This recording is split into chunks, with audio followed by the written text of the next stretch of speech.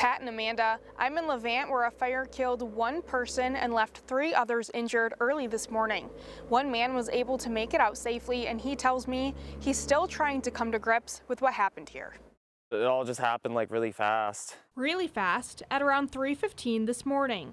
You know, one minute it was just a couple of flames, you know, up on the wall, and the next minute the entire house caught on fire. So it's kind of hard to process anything. Stephen Barker says he woke up to a funny smell, and when he opened his bedroom door, fire was climbing the wall. Five people were living at the home. Barker, the only one making it out safely. A trailer is still standing at the site, but that was connected to a two story house that burned to the ground. I don't know what's next.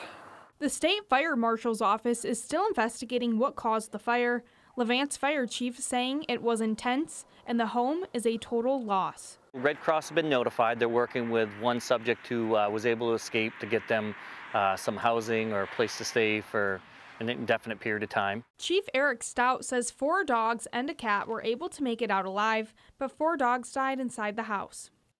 Police have not yet released the names of the victims. When they do, we'll update you on air and online. In Levant, Sam Olson, News Center, Maine.